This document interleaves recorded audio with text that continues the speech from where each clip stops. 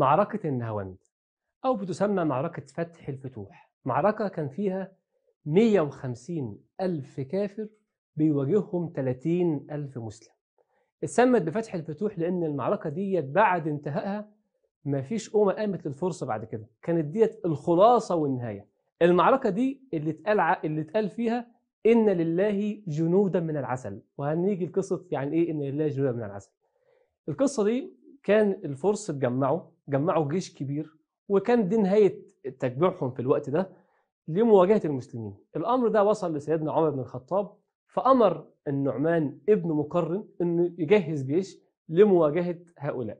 وبالفعل تمت المواجهة وتم الاستعداد للقتال وذهبوا.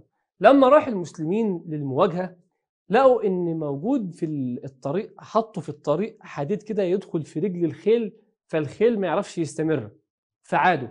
وكان الأمر ماشي كده.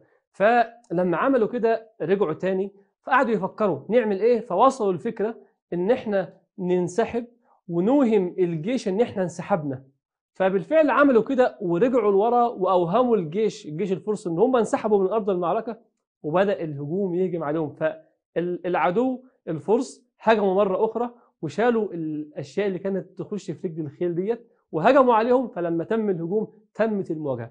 ويقال إن هم كانوا تحصنوا بالحصون ال- فكرة الخنادق سلمان الفارسي كان أصلا كان من الفرس. فكرة الخندق كانت عندهم فقال إنهم تسلسلوا في بعض الجنود وحفروا خندق وتخندقوا.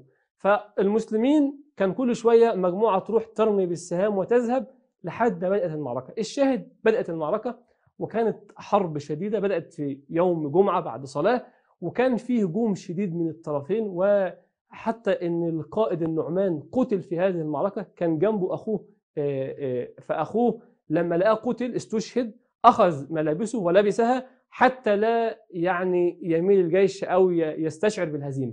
واستمرت المعركة لحد ما تم الانتصار وبعد النصر عطى الراية لحذيفة بن اليمان كان في المعركة وكان آه، النعمان وصى إن يكون القائد بعده حذيفة بن اليمان.